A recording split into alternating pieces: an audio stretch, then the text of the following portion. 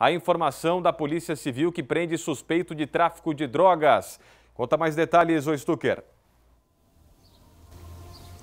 Ô Rodrigo, essa prisão aconteceu então aqui em Blumenau, né? Esse suspeito é, de tráfico de drogas ali na região da Itopava Central foi preso pela, pelos policiais aqui da Divisão de Investigação Criminal da cidade de Blumenau. O flagrante foi feito na própria residência desse suspeito após algumas denúncias, né?